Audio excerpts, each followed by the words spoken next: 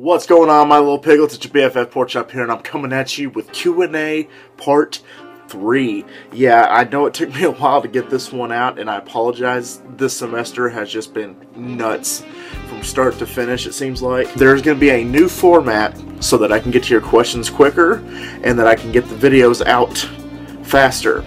And that is, I will be answering five, at least five. I've had these questions lined up for months. I'm looking at my laptop right here, so I'm gonna be doing this quite a bit. So without further ado, let's do this. So first question is from your locker pal. that says, are you into horror slash scary movies? And what is your favorite series slash movie? I love horror movies. Yes, I am so into horror movies, and it makes me so sad because 9 out of 10 of the horror movies that my generation pops out, it is just garbage. There's always that one jewel in the rough, but the rest are just god awful. Like the last good horror movie that I watched, not counting remakes or reboots, The Purge 2 was the last good one that I saw personally. I have seen The Gallows, I've seen Sinister 2, I've seen a few other horror movies since then, and it's they're just oh, oh. Sinister 2 shouldn't have been made. The Gallows was just Again, shaky cam, found footage. It's just, I'm tired of that genre. Actually, if you want to count 10 Cloverfield Lane, that would probably be the last good horror movie that I've seen. My favorite ones are, of course, Nightmare on Elm Street with Freddy Krueger. Freddy Krueger is my favorite serial killer. He's my favorite killer. And I actually have like 10 of his action figures. I'm going to pop one out. He's a little dusty because I have him displayed up there, but this is probably one of my favorite Freddy Kruegers, and that is the Nightmare 2 Freddy, where he has the knives coming out of his fingers. And I have him, of course he's posable, but I have him in the You are all my children now. pose. That's the pose at the cookout where he murdered a bunch of teenagers. And it is my favorite Freddy Krueger quote. Part 2 has my favorite Freddy Krueger quote, and that is, Help yourself, fucker! so I like made a joke one time to my dad that I'm gonna start a restaurant. It's gonna be a buffet, and our tagline is gonna be "Help yourself, fucker." like have like an arrow pointing down to the plates. Help yourself, fucker. So that would be kind of funny. Freddy's my favorite. Nigel Filippo. Sorry if I say your name wrong. Hey, Pork Chop, my girlfriend and I love your videos. A question we had for your Q&A was, what is your favorite band? What kind of music do you enjoy and listen to? Keep it coming, dude. I like how he said dude, like as in like food review, like food dude. But anyway, of course, everybody knows, you know, due to my background right there, and then a little bit right there is Kiss. Kiss is my favorite band. I love Kiss. Uh, my dad raised me on classic rock, and I still listen to classic rock, and I love classic rock. There are a few bands from my generation that I like, but uh, usually it's bands that were like 10 years, bef- 10, 20 years before I even existed that I enjoy. Kiss is my favorite band, classic rock. I do love Black Veil Brides. I do like Smashing Pumpkins. Top three sports teams. Okay, if you're going personally, my top three sports teams, the rank would probably be right now number one, Dallas Cowboys. Of course, you can see up there my Dallas Cowboy helmets. That one that I got from a pawn shop for five bucks, the little kid's Dallas Cowboy helmet I wear sometimes. And also the hat.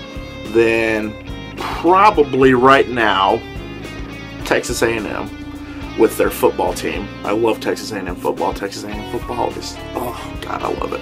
Great with the Manziel days, and hopefully we can get back to that glory. And last, right now, because it's a hot topic, are the Los Angeles Lakers. That's my basketball team, are the Lakers. And Kobe's retiring. We fired the coach, hitting the reset button good and hard. I think we need to do it. I had a, actually on my Facebook, my personal Facebook, I had a list like of a to-do list before next season and number one was fire byron scott so so far so good hopefully they do the other parts of my list which are get a good free agent draft like a son of a gun get phil jackson in a uh, front office position great question and uh, sorry if you're not Lakers, Cowboys, or A&M fan, but those are my team. Question from Jocelyn. Hmm, I wonder who that is. Why are you so cute? Also, I love you and you made me cry. Uh, the reason why she said that I made her cry was my uh, my New Year's video and uh, just reflecting on the year and everything that has happened and everything I hope that happens going forward. So yeah, she said, "Why are you so cute?" Um, good genes, good personality, good attitude, good hair. So there we go. Love you, baby. Last question here. Do you have siblings? Yes, I have two sisters, one older, one younger, and they each have a kid. How did you earn the nickname Pork Chop? Now, okay, I've answered this before in my first Q&A, but I'm going to do a refresher course. I had a sixth grade teacher, gave me the nickname Pork Chop because my dad was a manager of a barbecue joint and I eventually, a few years down the road, ended up working for him until it closed down sadly in 2000 2012? No, 2011. It closed down. To, no, 2010. God, it's really been that long? Yeah, it closed down in 2010, and I actually loved the job. I was a busboy, but I also did catering on the side, and I could actually see myself still working there if the restaurant was still open. But he just said, "Hey, pork chop," and I'm just, hmm, pork chop. That kind of fits. Yeah, I think I'll go with that. And then when I created my FK Fan 92 channel, which was the channel before this one, that's when I started calling myself Kollin Pork Chop. And uh, this channel, of course, is called Kollin Pork Chop, so that's me. And uh, so that is how I got the nickname Pork Chop. Okay, guys, you know the drill. Leave me questions for the Q&A. Leave it down below. Leave it on Facebook, Vine, Twitter, or Snapchat. Hit that subscribe button right there to become a piglet to stay in touch with my videos. You can also, like I've mentioned before, like me on Facebook, follow me on Vine, Twitter, and Snapchat. All those links are down in the description. Leave me recommendations where you want to see me eat. I always do food reviews and I'm always open to new suggestions.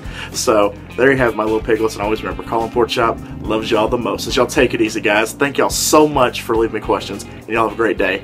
Looking forward to hearing more. Bye guys.